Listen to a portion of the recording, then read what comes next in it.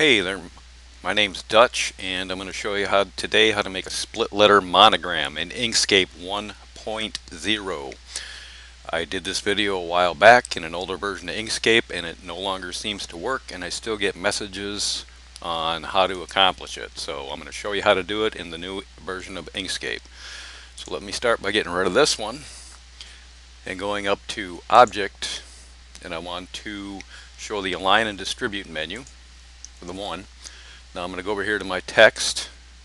I'm just going to type my D for Dutch. And I'm going to uh, scale it up by holding the control key and grabbing the corner and just make it bigger for clarity here. Oh, and over here it's going to be last selected. Make sure you have last selected. Once I have that scaled up, I'm going to make it black just to make it easier. And I am going to go to Path, Object to Path, and then I'm going to go to Object, Ungroup. And you should see down here it says Path and it's the number of nodes. It just, just as long as it says Path and nodes, you're good to go.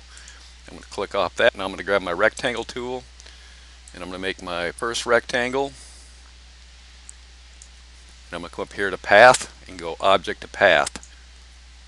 Oops, didn't work. Or did it?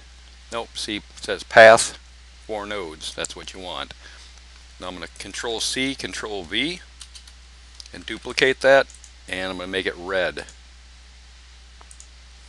I'm going to make it a little bit longer and a little bit narrower.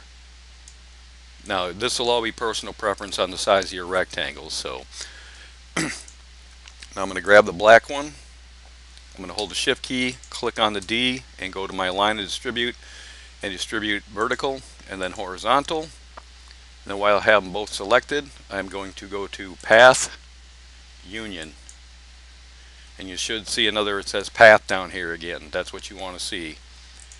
Now I'm going to select my red rectangle, hold my shift key and select the D again. And I'm going to go back over to my Align and distribute menu, or vertical, horizontal, and while I have them all selected, I'm going to go to path, difference. And there you go. Simple as that. This is for the version Inkscape 1.0. If you would like to see it for the older version, um, check my channel and there is a video in there on how to do that. And the font I'm using is the Regal font and it's available on DA Fonts. Hey, thanks for watching. Later.